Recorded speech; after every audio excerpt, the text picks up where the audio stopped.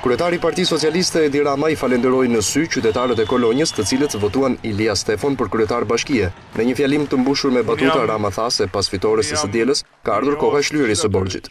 Me shumë respekt, më lejoni t'ju them që në fillim një faleminderit shumë të madh për mbështetjen e jashtëzakonshme.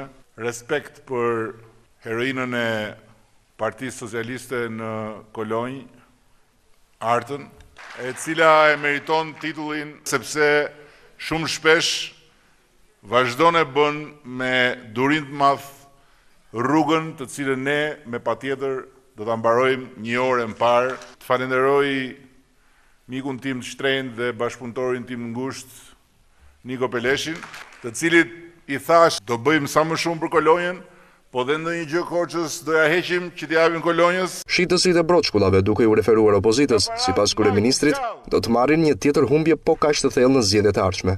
Shitësit e broçkullave e morën edhe një mësim tjetër, kur të vijnë këtu në qershor Dhe në të gjithë Shqipërinë, do marrin dhe një mësim edhe më të madh. Dhe në përfundim një këshillë për kryetarin e ri të Bashkisë së Kolonjës. Çdo ditë që del nga shpia, është ajo fjala e popullit, hallin që s'ma zgjidh të paktën ma qaj. Vetë kryetari i sapozgjedhur e sheh këtë post si një detyrim për t'i shërbyer të gjithë qytetarëve njësoj.